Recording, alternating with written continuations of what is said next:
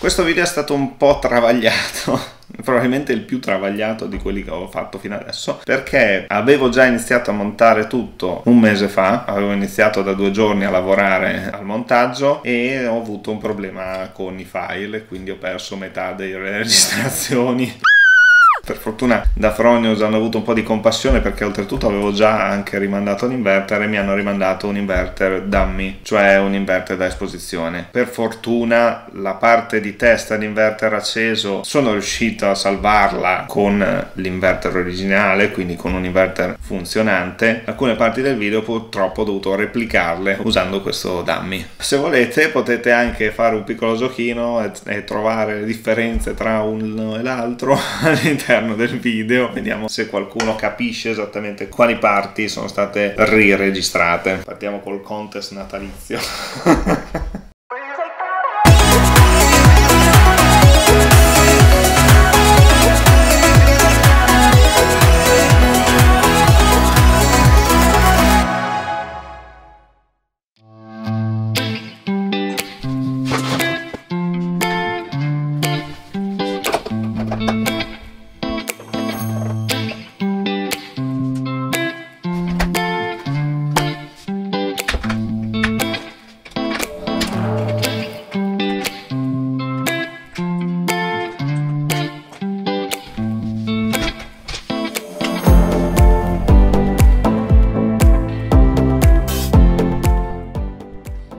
tutti e bentornati su andreapiccinelli.net Oggi come avrete capito parliamo del nostro ragazzone Fronius Simo 8.0 Come avete visto nell'intro partiamo dall'inverter smontato. Giusto per farvi vedere quanto facile è aprire questo inverter e arrivare all'interfaccia contatti. Cambiamo visuale e vi faccio vedere cosa c'è effettivamente nella morsettiera allora, accendiamo le luci sul Fronius e partiamo dalla parte frontale. Togliendo la calotta di protezione che vedete lì e l'altra protezione che c'era sotto per proteggere la morsettiera, ci troviamo davanti questo blocco di dissipazione gigante con l'iconica ventolona Fronius Gen 24 che permette il raffreddamento di tutto l'inverter. Infatti vedete che da questo grosso blocco centrale comunque non c'è uno stacco termico. Insomma tutto il blocco di dissipazione continua anche sotto sotto, nella parte sotto la morsettiera, quindi è un sistema di dissipazione molto ben studiato e dalle dimensioni importanti. Questo sistema di dissipazione, tra l'altro, leggevo nella brochure, ha vinto il premio Red Dot Award relativo appunto al sistema di dissipazione e dedicato a quei prodotti che riescono a mantenere una temperatura più o meno costante su tutto il corpo macchina. Appunto i red dot sono dei punti rossi, cioè dei punti in cui la temperatura temperatura di un componente è particolarmente elevata rispetto a tutto il resto del corpo macchina e ovviamente il Red Dot Award è per tutte quelle macchine che riescono a non far verificare questo tipo di fenomeno. Comunque andiamo avanti. A sinistra della ventolona c'è il nostro switch per accendere e spegnere l'inverter. Duro come la morte. Passiamolo giù e sotto c'è tutta la parte di morsettiera. La morsettiera a sinistra contiene i morsetti per la corrente continua. Questi sono tutti morsetti rapidi, quindi sono veramente facilissimi da utilizzare, basta tirarli su, infilare i cavi e farli scattare. Partendo da sinistra troviamo i morsetti più per l'MPPT1, un altro ingresso per l'MPPT1, l'MPPT2 e l'ingresso più della batteria. A destra stessa cosa, speculare, quindi ingresso meno della batteria, come vedete ha una scritta arancione su fondo nero mentre gli altri hanno una scritta nera su fondo arancione. Sicuramente questo aiuta nell'identificare a colpo d'occhio anche l'ingresso batteria. Poi c'è il meno delle dell'MPPT2 e i due meno dell'MPPT1. Più a destra troviamo la parte dell'interfacciamento dati e vedete che c'è una sfilarata di morsetti diversi. Allora vi faccio vedere rapidamente questo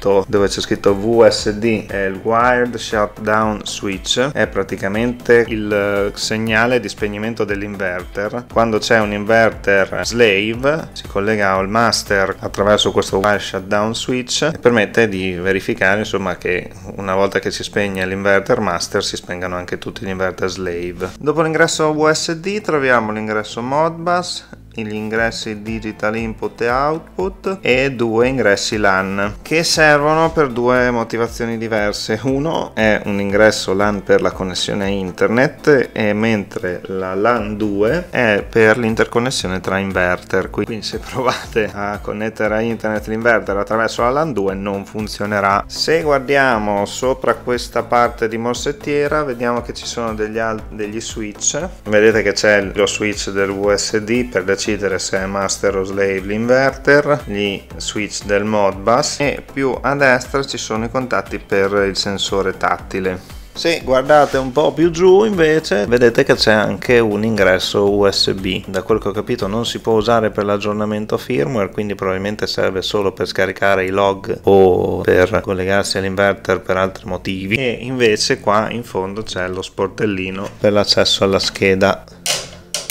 adesso Roberto mi sgriderà per aver aperto questo però insomma qui vedete che si riesce ad accedere direttamente alla scheda. Probabilmente per raggiungere altre funzioni oppure semplicemente per motivi di manutenzione per riuscire a sostituirla più velocemente. Ultima cosa relativa all'interfacciamento dati, vedete l'antenna wifi per il collegamento wireless. Ci spostiamo ancora sulla destra e troviamo la parte relativa alla corrente alternata, i morsetti dell'alternata. Quindi vedete qui tutto a destra ci sono i morsetti per l'ingresso trifase, quindi ovviamente l'ingresso che arriva da quello che sarà il nostro contatore di produzione, fase 1, fase 2, 2, fase 3 neutro e terra. Cosa interessante, qui sotto c'è già una barretta di terra per eventuali collegamenti equipotenziali aggiuntivi. Se per esempio le cornici dei pannelli che stiamo per installare vanno messe a terra, abbiamo già la possibilità di portare direttamente il cavo di terra a questa barretta di terra per fare il collegamento equipotenziale. Ultimo ma non ultimo, ultima cosa molto interessante però del lato alternata è questa, che è l'uscita PV point. Dell'uscita PV Point ne avevamo già parlato nel video dedicato alla funzione di backup degli inverter ibridi. Ricordiamo velocemente che cos'è, è praticamente una linea dedicata a un carico privilegiato che in caso di blackout, in caso di mancanza della tensione di rete, può andare a essere alimentata in alternata esclusivamente dall'inverter, quindi solo se le batterie e o il fotovoltaico stanno producendo e nel caso di Fronius è limitata limitata a un'utenza monofase fino a 3 kW. In pratica è una linea completamente staccata dalla rete perché non si può assolutamente immettere energia in rete quando viene tolta dal gestore di rete ovviamente, però che ci aiuta quando va via la luce ad avere per esempio il computer ancora acceso che prende energia esclusivamente dal fotovoltaico dalle batterie. È un aiuto ovviamente in caso di mancanza di tensione, però naturalmente non può sostenere per molto tempo tempo il carico o carichi molto alti. Tutto dipende naturalmente dalla capacità delle vostre batterie, dalla potenza del vostro fotovoltaico e dalle loro condizioni nel momento in cui va via tensione. Andiamo avanti, adesso provo ad accenderlo, a richiuderlo e a collegarlo al computer per farvi vedere la parte software. Va bene, richiudiamo tutto e accendiamo il computer.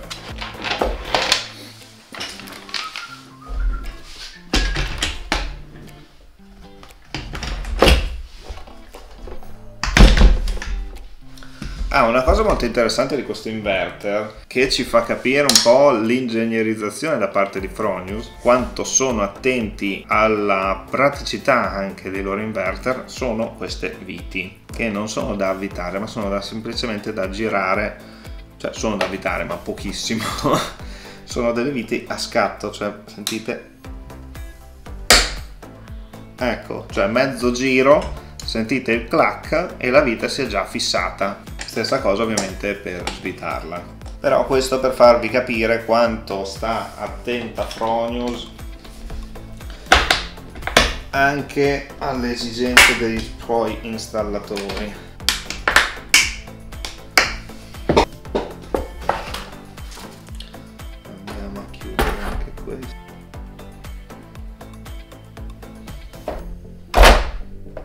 ok luce blu lampeggiante adesso dovrebbe esserci Fronius 321361617 facciamo connetti. La password è 1 2 3 4 5 6 7 8 sì. Ok adesso si sta connettendo non se funziona davvero. Sto verificando i requisiti di rete. Ok sono collegato. Ok poi mettiamo nel browser l'indirizzo IP e siamo arrivati. Ok questa è la schermata iniziale dell'inverter.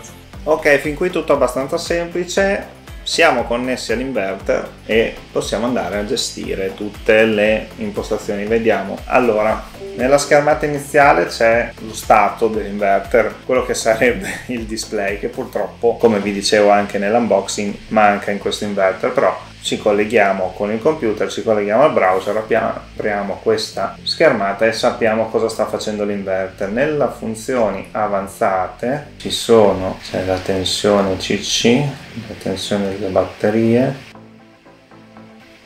strano, ok? Andiamo a vedere un po' l'interfaccia giusto per vedere stato dell'apparecchio, inverter fermato, qua c'è la potenza corrente, adesso se si rimessa un attimo. Fronio sono 2 3 connetti. Arrivo. Piccolo neo la velocità di connessione dell'inverter. Un po' lentina.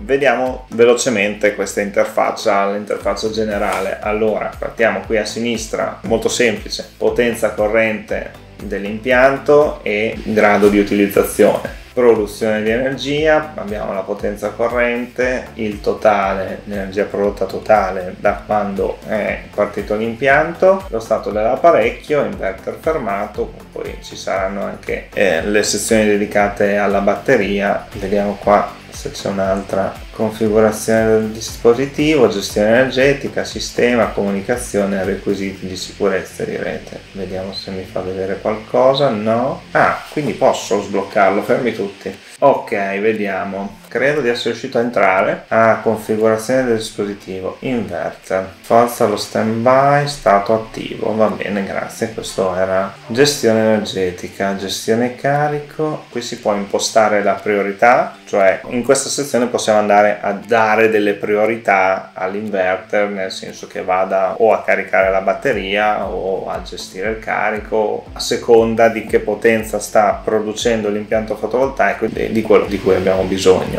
Eh, ottimizzazione dell'autoconsumo automatico manuale, io direi automatico. Lasciamo su automatico, torniamo indietro. Sistema, allora sistema, andiamo a vedere. Generale, aggiornamento, l'aggiornamento si fa tramite OTA. Insomma, l'aggiornamento è da internet, non c'è la chiavetta da inserire, eccetera. Basta connettere l'inverter a internet. Se ci sono degli aggiornamenti vengono scaricati. Poi abbiamo la messa in funzione guidata, ci arriveremo, registro eventi, qua c'è tutto il log degli eventi dell'inverter, informazioni, versioni, firmware, eh, tutte le revisioni software, revisioni hardware, rete, test test licenza disponibile. Ah, qua tra l'altro c'è l'info sul supporto, manutenzione a distanza. Qua, questa è una uh, cosa carina L'accesso alla manutenzione a distanza consente al supporto tecnico Fronus di accedere all'inverter solo tramite un collegamento sicuro. Quindi si può, nel caso di problemi software all'inverter, si può contattare l'assistenza e l'assistenza può tentare una correzione dell'errore da remoto, cioè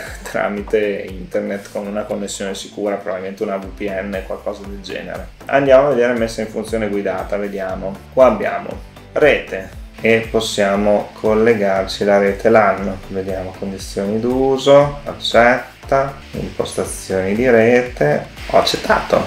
Cosa sta succedendo? Sei ancora sveglio? Sì, sono ancora connesso a quello. Perché mi cambia la rete? No, devo rifare l'accesso. Va bene.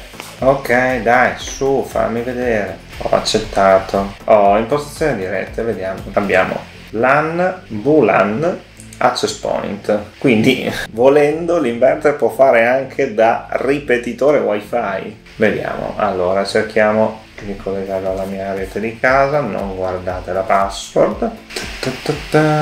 Connetti. Ho connesso, perfetto. Reti disponibili, bene, siamo collegati. Solar Web, allora andiamo avanti. La connessione di rete deve essere configurata in anticipo. Sì, lo so, ci sono connessioni internet quindi impostata la rete wireless posso collegarmi alla mia rete wireless normale quindi quella con accesso a internet e a questo punto posso collegandomi sempre sul browser all'indirizzo IP dell'inverter andare a vedere se riesco a farlo andare. Fate la procedura guidata. Connettete l'inverter alla vostra rete di casa poi vi riconnettete al vostro wifi quindi vi riconnettete a internet e cliccate su sì quindi porta a SolarWeb Redirect App Wizard, eccetera, eccetera, eccetera. Eh, non funziona. Cioè io l'ho connesso, adesso vorrei che fossi collegato anche a internet. Forse adesso devo rivedere l'indirizzo IP, andare a vedere l'indirizzo IP perché non, c'è qualcosa che non torna. Una volta Fronius era più facile, davvero. Con il display era tutto molto più semplice, ve l'assicuro. Tornate a vedere la recensione del Fronius primo e secondo me l'aver perso il display ha dato un punto in meno a questo inverter.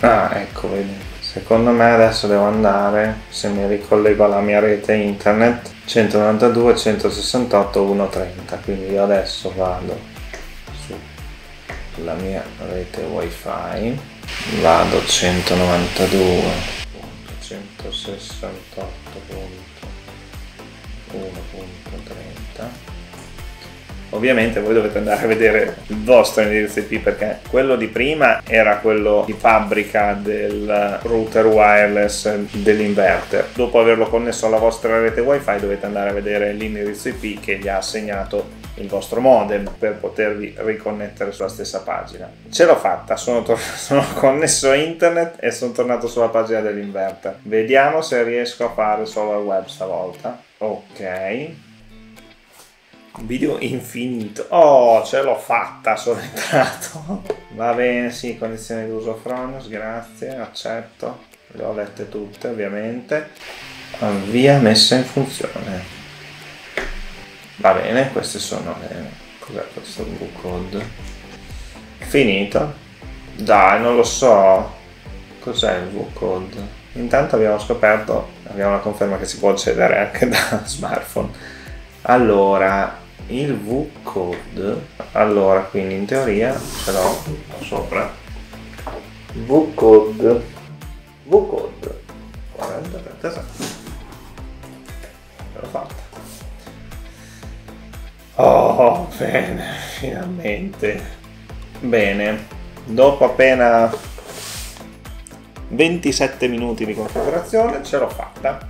Eccoci qua finalmente siamo nella panoramica del nostro impianto quindi io d'ora in poi diciamo che se io vado sull'indirizzo IP del mio inverter posso vedere direttamente quello che sta facendo direttamente dall'inverter. Però se non mi ricordo l'indirizzo IP se il modem ha indirizzi IP casuali quindi stabilisce il modem ogni volta che si riavvia non sapete esattamente che indirizzo IP ha il vostro inverter. Per risolvere questo basta andare su solarweb.com accedete con la vostra registrazione come avete visto fare a me adesso e vi trovate esattamente la stessa schermata anzi con qualche dato in più. Quindi c'è alimentazione di corrente questo in teoria è una foto del vostro impianto. Il bilancio energetico di oggi qua potete andare a impostare le condizioni economiche del vostro impianto per avere a colpo d'occhio il guadagno. Andiamo a vedere le varie pagine. Qua c'è una panoramica alimentazione di corrente bilancio energetico il meteo perché ovviamente il fotovoltaico è ampiamente influenzato dal meteo. Poi ci sono i valori i valori correnti la cronologia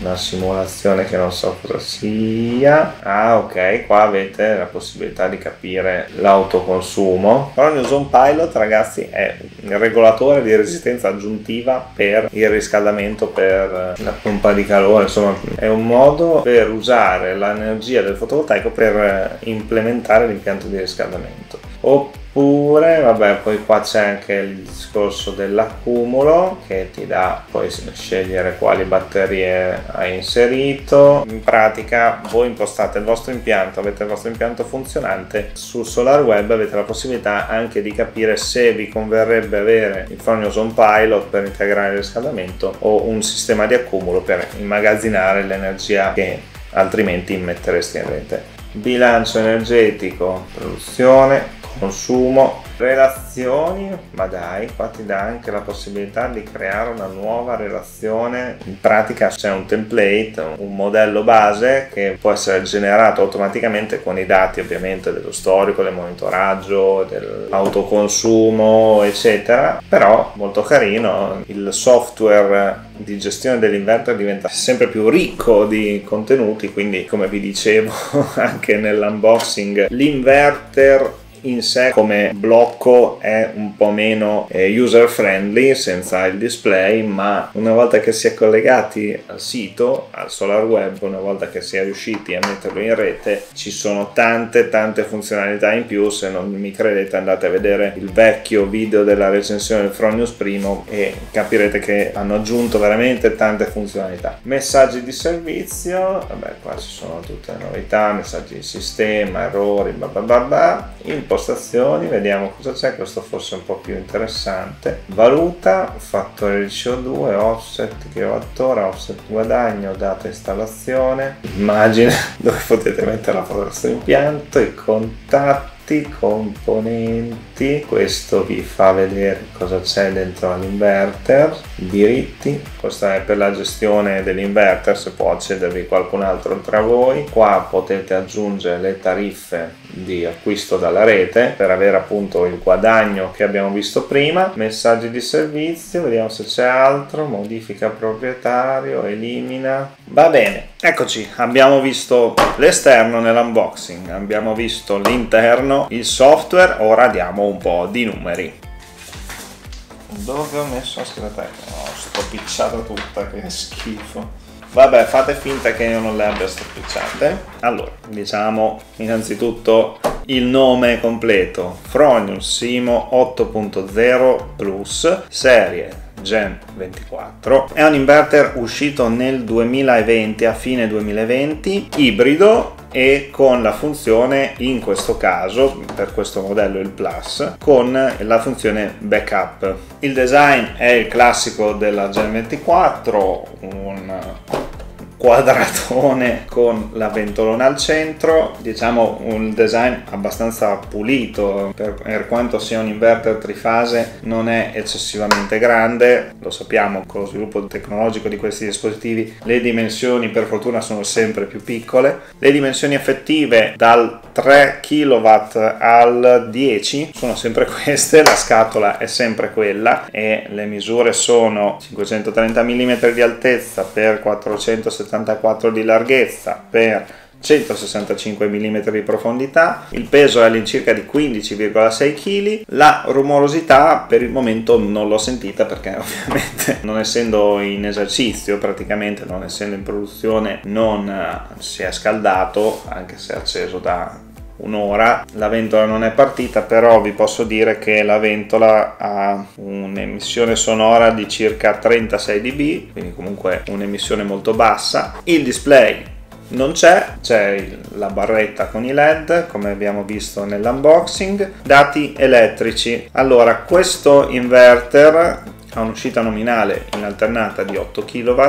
Come campo fotovoltaico supporta un campo fino al 150% di sovradimensionamento, quindi eh, fino a 12 kW, ovviamente rispettando i parametri massimi di tensione e corrente per ogni MPPT. Ha due MPPT, quindi due inseguitori di punto di massimo rendimento e ha una tecnologia particolare di gestione del punto di massimo rendimento che permette di limitare le le perdite legate all'ombreggiamento parziale. Questo gli permette di raggiungere un grado di efficienza europeo del 97,1% che per un inverter trifase è già un buon rendimento, ma la cosa impressionante di questo inverter è il range di tensione MPPT che va da 80 watt a 800, quindi un range molto ampio che ci permette anche di avere stringhe molto diverse tra loro tra i due MPPT. E finiamo col dire che l'inverter è conforme alla normativa CE 021 ma non a quella CE 016, quindi è adatto a tutte le connessioni in bassa tensione ma non a quelle in media. Le funzioni aggiuntive, l'abbiamo già detto quando abbiamo guardato la morsettiera, questo inverter può gestire un blocco batterie. Nella scheda tecnica viene riportata la compatibilità con le batterie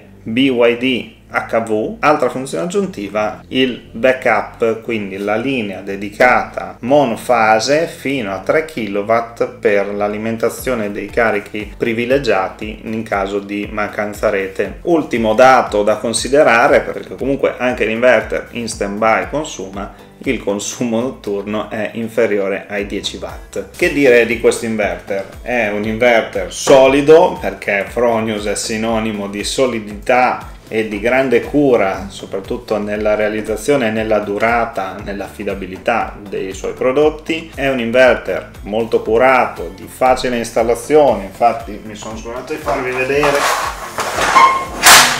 Infatti per l'installazione basta fissare questa barra con i tasselli e poi agganciare l'inverter a queste staffe, quindi anche per quanto riguarda l'installazione grande cura ai dettagli e grande facilità di montaggio. L'unica pecca un po' è la mancanza del display, ma ne abbiamo già ampiamente parlato e un po' brigosa abbiamo visto la prima connessione, però ovviamente non è una cosa che avrete da fare voi. La prima installazione e la configurazione sarà fatta da un tecnico specializzato e accreditato Fronius, perché ormai anche le altre aziende vanno sulla specializzazione dei tecnici sui loro prodotti, quindi ci sono corsi, eccetera. Se andate sul sito di Fronius trovate tutte le informazioni su come si diventa installatori certificati Fronius. Fronius non punta come altri sullo l'utilizzo di ottimizzatori e se andate nella pagina del sito dedicata a questo inverter trovate anche una brochure che spiega i motivi di questa scelta perché appunto con la nuova funzione di Dynamic Peak Manager Fronius dichiara un aumento della produzione del 7% anche in condizioni di ombreggiamento rispetto ai inverter classici quindi questo inverter non è compatibile con ottimizzatori Fronius non fa ottimizzatori di rendimento per il singolo modulo che dire Fronius conferma la solita maniacale attenzione austriaca alla qualità alla robustezza e ai dettagli. Potrebbe essere un po' più facile, un po' più veloce almeno la connessione all'inverter, almeno per l'installatore, secondo me potrebbe essere almeno per la prima installazione un po' più veloce, però giustamente Fronius forma i tecnici con cui collabora per garantire la qualità anche delle installazioni. Quindi un prodotto di qualità affidabile, robusto, studiato nei minimi dettagli e chi più ne ha più ne metta è un inverter per chi vuole la tranquillità che il suo investimento duri nel tempo e soprattutto abbia pochi problemi. In Fronius ci credono talmente tanto nella messa a punto dei loro inverter che danno una garanzia che con le varie estensioni può arrivare fino a 20 anni, quindi potete comprare l'inverter e potete avere la garanzia per 20 anni che l'inverter sia in ordine. Tutto questo, tutta questa qualità, solidità, garanzia, bla bla bla bla, bla si paga perché ovviamente tanto lavoro va oggettivamente ad aumentare un po' il costo. Il costo di listino del Fronius Primo 8.0 è di 2.919 euro, che tutto sommato è comunque intorno alla media del prezzo degli inverter da 8 kW trifase con accumulo con funzione di backup. Bene, anche questa recensione finisce qui, grazie a Fronius per avermi fornito un altro inverter da recensire. Fatemi sapere nei commenti che cosa ne pensate, un like se il video vi è piaciuto e come al solito vi do appuntamento al prossimo video.